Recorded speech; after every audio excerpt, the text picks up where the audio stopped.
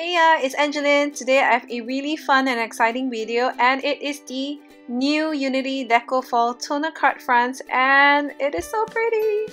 So I'm starting off with the Whitkit card kit here for the sentiment and here is the new toner card front which is the Flowers Divine here or Divine, Divine.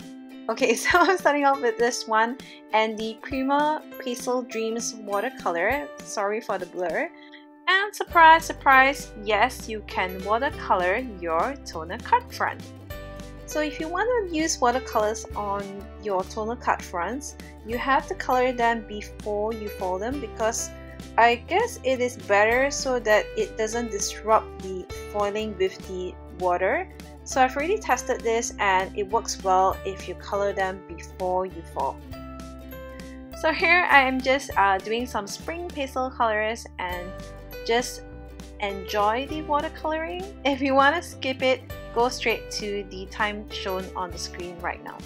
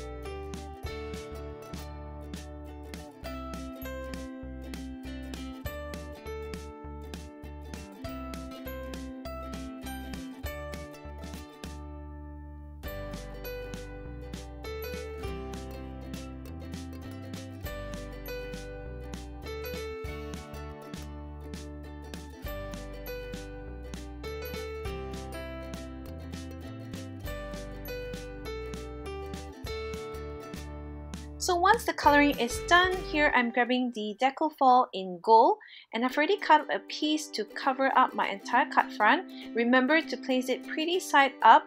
I've also sandwiched it between a scrap of paper here to go through my mini Minc machine. You can also use a laminator if you do not have this machine. So next, just peel off the foil carefully off your toner card front. Just keep that negative aside first and just check out how pretty the added foil is to your card. So next I'm going to assemble the cards here. I'm just going to do some simple adhesive to the back of my toner card front and just placing that onto my card base. Then just trim off the excess and uh, just add on the sentiment which I've also added some foam tape right behind. So for the negative here, I'm using the Thermal Web XL tape runner, which is kind of cool and different from other kinds of adhesive because you will not see the adhesive um, via the empty spaces on the foil.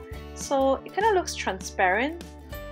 So just use your fingers to press the foil down and trim off the excess and just add on the sentiment to your card.